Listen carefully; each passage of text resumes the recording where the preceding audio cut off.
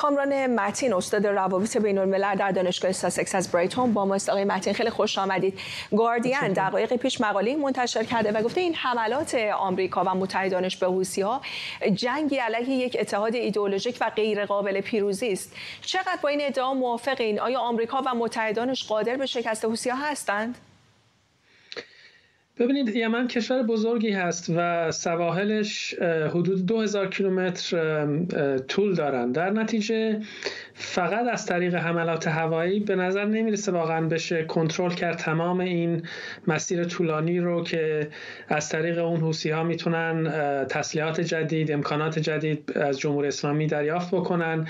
و خب اونها چندین سال با یک اتحاد بزرگ نظامی از سوی عربستان امارات متحده عربی در جنگ بودن و سختترین بمباران ها رو برای حدود 8 سال تحمل کردن. و در این فرصت خب توانایی نظامیشون هم افزایش پیدا کرده. ضمن اینکه برای اینکه مختل بکنن کشتیرانی رو اونها لازم نیست که به هر کشتی که از اونجا رد میشه بتونن حمله بکنن. کافیه به یکی دو کشتی بتونن حمله بکنن و اون ترس و اون اختلال در تجارت جهانی کار به اصطلاح از این از یک حملات محدود هم می‌تونه ناشی بشه و این چیزی هست که دغدغه اصلی کشورهای غربی هست که الان که اوضاع اقتصادی در اروپا به دلیل پایین اومدن ارزش قیمت انرژی کمی بهتر شده الان دوباره نگرانی ها از این هست که تورم بالاتر بره و حتی رشد اقتصادی پایین تر بیاد و دچار رکود بشه اروپا و این تأثیری هست که بالاخره برای حوسی ها تحصیلش کار چندان زیادی لازم نداره به خصوص که بالاخره جمهوری اسلامی هم به لحاظ نظامی و تکنولوژیک و همچنین اطلاعاتی اونها رو در واقع پشتیبانی می‌کنه. آقای متین از یک لنز بزرگتر اگه نگاه کنیم در مقاله گاردین به این اشاره شده که این گروه های نیابتی در محور موسوم به مقاومت الزاما تحت اراده جمهوری اسلامی نیستند و گفته این ستون های ایدئولوژیک و اهداف استراتژیک مشترکشونه که اونها رو متحد, متحد کرده. شما فکر می‌کنید چقدر این اتحاد و دوامش قابل اطمینان هست؟ در اینکه این گروه ها الزاما هر حرکتشون رو جمهوری اسلامی از تهران تعیین نمی‌کنه من با این نظر موافقم. ولی خب اتحاد استراتژیکی وجود داره و جمهوری اسلامی به عنوان در واقع اون ستاد هماهنگی بین اینها عمل می‌کنه.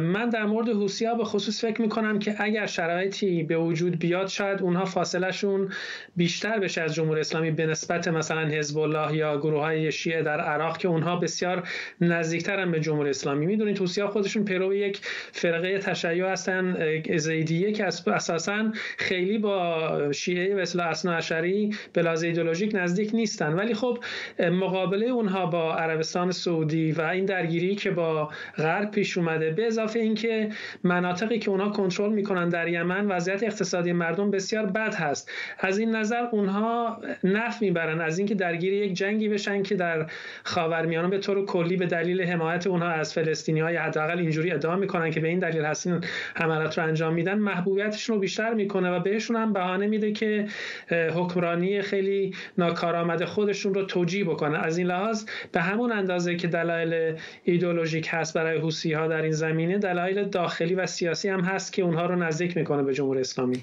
و آقای متن خیلی کوتاه اگه به ما بگین در نهایت چه راهکاری پیش روی غرب است برای کنترل شرایط موجود؟ من بعید می‌دونم که بدون آتش بس در غزه حوسی ها رو تماما بشه به اصطلاح کنترل کرد و این حملات رو خاموش کرد. حملات هوایی غرب ادامه پیدا خواهد کرد ولی من فکر می‌کنم که به اندازه ای که کشتیرانی رو مختل بکنن می‌تونن حوسی ها کماکان حمله بکنن به کشتی های تجاری. در نتیجه در کوتاه مدت چشم انداز روشنی برای اتمام این وضعیت من نمی‌بینم. کامران متین استاد روابط بین الملل در دانشگاه ساسکس از برایتون. خیلی متشکرم از توضیحاتتون.